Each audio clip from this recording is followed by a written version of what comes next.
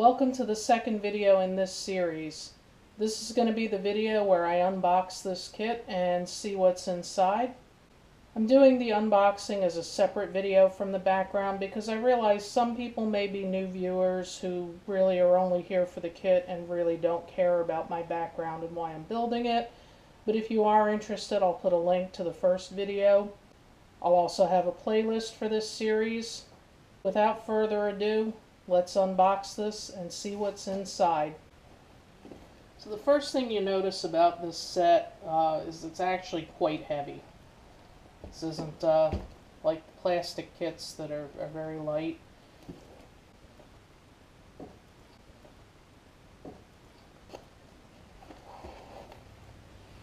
And I like how they package this. If you are going to be browsing in the store, when you pull the cover off, you can get some kind of peek inside. You can see that there's some scenery, some glue, mostly ceramic tiles, which is giving it the weight. You can see it has some color instruction sheets. So let's open this up and see what's inside.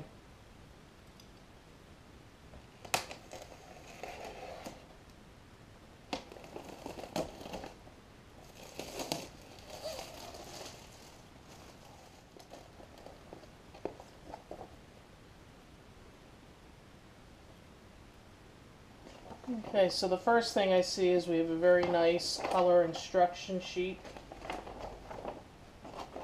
Probably not going to be able to fit this whole thing into the view here. I will take uh, separate pictures of it. But there's four buildings in this set, plus a little bridge. So we have a mill, and there's a water wheel on the other side of it. We have a bridge, I assume this is some kind of farmhouse here. I'm not sure what that is. Again, I'm going to guess a silo, something related to a farm. Maybe a watchtower. Doesn't look tall enough for that though, so I'm going to go with silo. And we have a little church. And so it looks like this side here details the construction of the windmill and the silo. When you flip that over to the other side, that looks more like just construction techniques in general for these kits.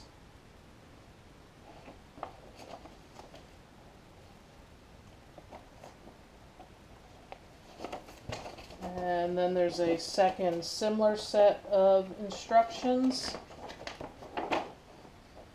This side here is for building the church and building what I believe is the farmhouse. And when you flip that over, finishing the farmhouse, that's just what I'm going to call it until I know otherwise. Finishing the farmhouse and building the bridge.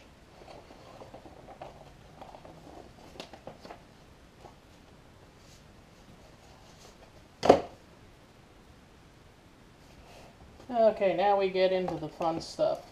This is what's actually going to build our little village here. They give you two bottles of glue. This looks like standard white glue, so I would assume if you run out uh, that you could uh, use any kind of white craft glue in its place. Uh, it seems like the primary method of constructing this is going to be gluing. We have some bags of scenery here. This is the same kind of stuff you would get for model railroading. We've got some color pigments here, I presume for dirt. And the blue would obviously be the water running under that bridge. Got a bag for the green grass here. And then this darker green bag, this is the vegetation. This would be your little trees, shrubs. And I think the last bit that we have for the scenery is this bag of, it's kind of an off-white beige gravel. Looks like that would probably be for the uh, bed along the creek.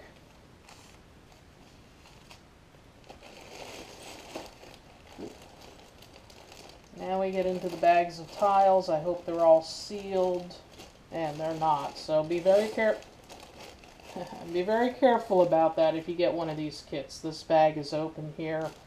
Um, I actually have some um, plastic jars downstairs that I think I'm going to use to store these. You'll see that in a later video. This would be uh, the terracotta colored tiles would be for the roofs of the buildings.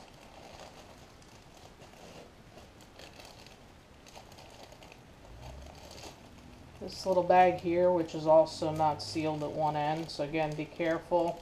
This has a bunch of little arch pieces, and it looks like a lot of little unique shapes. Um, be used for keystones, for steps. I assume these are ceramic. Maybe they're wood. Nope, that's ceramic. So you have like a little archway.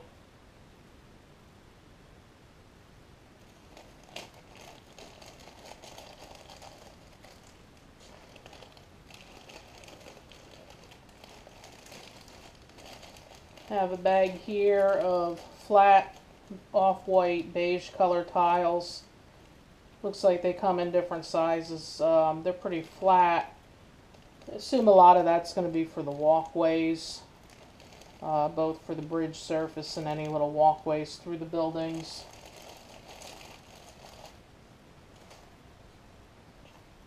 Couple little oddball pieces. We have a piece of wood here, probably for the windmill. Bunch of strips of cardboard here. I know they use cardboard as the backing um, for the buildings. That's what you're actually going to glue the tile to. The way these are perforated here, I'm not sure if you could see this. Looks like these are going to fold up into squares. I have seen photos and video online that that's how they support the uh, like the higher levels of the scenery is you just make a lot of boxes. Have to be super, super careful with this big bag. Sure as heck don't want to spill this. This is going to be your main tiles for the siding on all the buildings. Yep, and that is not sealed.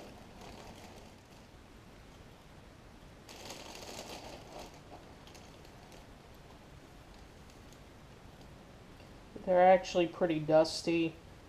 Um, hopefully they cut pretty easily and sand pretty easily. They feel kind of soft. They don't feel like that hard ceramic.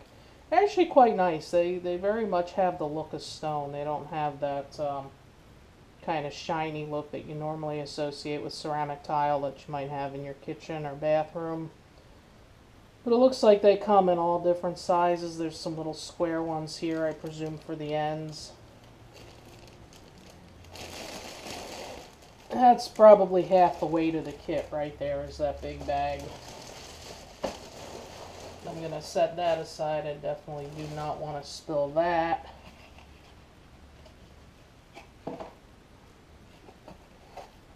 Alright, so underneath we have the base plates here. These are quite nice. They're pretty thick.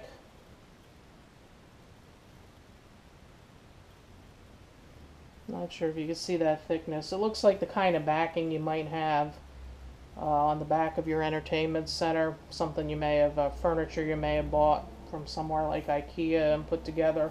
Oh, this is actually thicker and better quality than most of that that I've seen. And there are four of these base plates. So if you want to get a sense for the size of this, tell at some point it's going to outgrow this desk.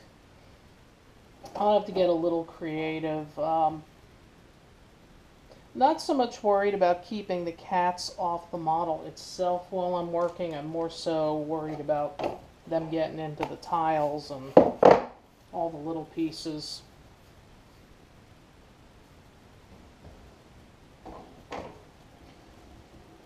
So we'll figure out later how we're going to lay out the base.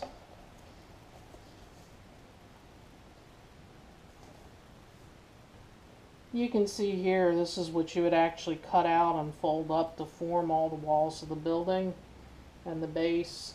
Looks like they have everything pretty clearly labeled. It's very lightly perforated, so I imagine that's going to be pretty easy to separate and work with. I mean, this is pretty much your standard weight cardboard.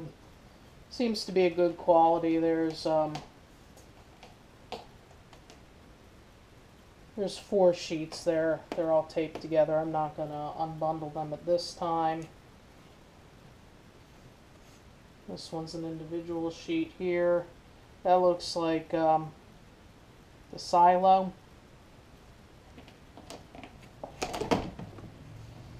And here we have another base. You can tell this is where you would cut off to make like the bank. Well, here would be the bank, I think, for the creek. Here's where the silo would go.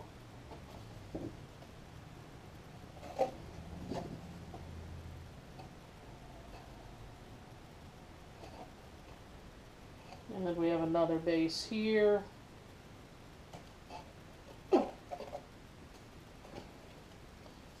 Here are some pieces for the windmill and for the bridge.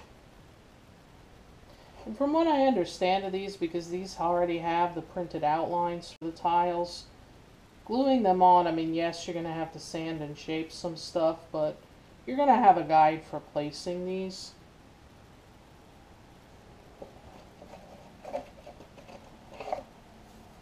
And then there's the last bundle of more, more base, more building. Again, a lot of these that I'm showing you, they have a couple sheets either taped or stapled together. I'm not going to undo that just yet. And last but not least, inside the bottom of the box here, we have some wood strips, various thicknesses and sizes. So that's going to be for stuff like the um, the water wheel and any little supports. I think the one building, farm building, has an overhang to it or something. And everything in here looks to be of good quality. This is nice clean wood. Part of me wants to say it's balsa wood, but it feels a little more solid than that. So I, I don't I don't think that's balsa wood. I think that's some uh, heavier grade I've got to admit I don't know my woods very well. Um, although, interestingly, one of the projects I had considered before selecting this one is a wooden model sailing ship. I actually do have a kit that somebody gave me many years ago. And who knows, maybe I'll be doing that one next. Um, the only reason I rejected that idea is I knew I would need to purchase a lot of tools and learn a lot of techniques. Although that said, I'm probably going to have to, uh, well, I may have to purchase some tools for this. Definitely going to have to learn a lot of new techniques. So what comes next? Um, obviously the next video you're going to see in this series is going to be me beginning the construction. Uh, it's going to be starting with the cardboard structures that everything's going to get adhered to. I'm not sure how long that's going to take to build. Um, hopefully I'm going to be able to build each one of these buildings and its base as a separate kit and then bring them all together at the end. I don't know that to be 100% true, but um, I'm assuming that's how it's going to go. And um, I'm not sure the frequency with which these videos are going to come out. I have a lot of other things in the queue that I filmed late summer, early fall. I will try to get out a video in this series at the rate of at least one every two weeks. And um, I have no idea what kind of build time I'm looking at with this. Um, I'm not going to make you watch every excruciating little piece.